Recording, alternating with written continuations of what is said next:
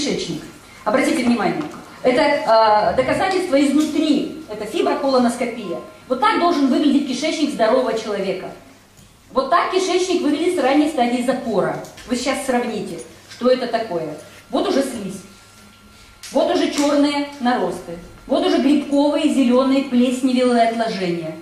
И толстый кишечник – это место, где всасывается вода. То есть вода всасывается в кровь через вот эту пленку, грязную, токсическую. А это всего лишь запор.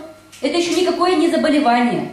Это всего лишь люди говорят, а я в туалет не каждый день хожу по большому, а раз в три дня, допустим, или раз в четыре дня, да? И вот уже в кишечнике вот такая проблема. Посмотрите, как он отличается от здорового кишечника.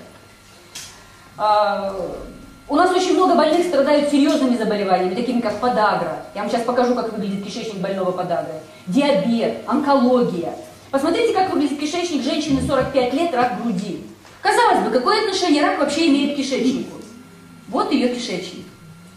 Обратите внимание. То есть эти данные можно найти в интернете. Мы для вас даже диски сделали по питанию, чтобы вы могли показывать, потому что я вам расскажу, а вы-то кому-то показывать это должны. Посмотрите, как выглядит рак простаты. Мужчина 52 года, тяжелая форма. И ни один онколог даже, так сказать, э, в мыслях не будет держать, что ему нужно почистить кишечник человеку. Он будет получать химию правильно, он будет получать операцию правильно, он будет получать э, радиацию правильно, но кишечник никто не отменял. Посмотрите, какие полипы. Вот такие вот полипы, они должны быть мгновенно удалены, если в кишечнике где-то, значит, там живут вирусы, которые, собственно, и вызывают онкологическую патологию. Посмотрите, как выглядит кишечник с раком молочной железы э, в тяжелой, в очень тяжелой форме.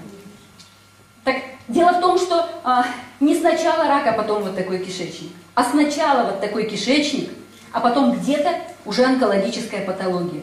Поэтому неважно, какое заболевание, первое, с чего надо начинать свою, э, так сказать, оздоровительную практику, очистка кишечника –